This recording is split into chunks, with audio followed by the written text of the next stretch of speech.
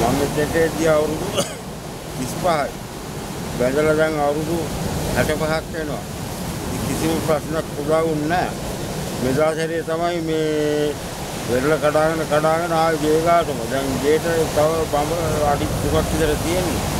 කරන්න දෙයක් නැහැ. කියා කරගන්න රටේ මිසි මුදල් මිල මුදල් නැහැ.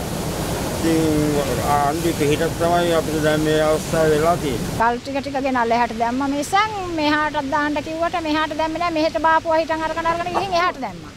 දැන් මේ වැටි දාලා දුන්නට පස්සේ ගොඩ මූද ගියා දියඹට. දැන් මේ දැන් මා ගිය අවුරුද්දේ ඉඳලා තමයි ගොඩ කුඩ කඩාන කඩාන කඩාන මේ සැරේ තමයි දැන් මෙහෙමම කඩන්න ගත්තේ ඉතින්. ඔය වගේ කඩලා කඩලා ඉවරලා ඉතින් ගේට එනකම්මත් අපිට ඉතින් දන්නේ නැහැ.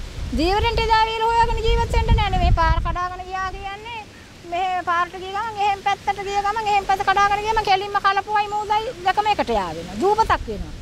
ඉතින් එන් ඉස්සර දීවරෙන්ටත් මේ මේ බොහොට්ටුවක් තෙප්පමක් ගොඩ කරගන්න කිසිම ආවරණයක් නැහැ. මේ බලධාරීන්ට හැම කෙනෙකුටම අපි කියලා තියෙනවා මේ වෙරළ කඩාන යනවා කියලා කීප කාලෙකින් නම් කියන්නේ.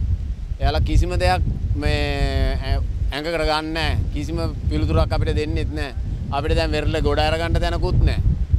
අපි එයාලාට කියන්නේ ගල් බැමි දාලා මේක මහ පාර යන්නේ නැතුව අපිට මේක හදා දෙන්න කියලා. එයාලා ඒ වුණත් කිසිම විසඳුමක් දෙන්නේ නැහැ.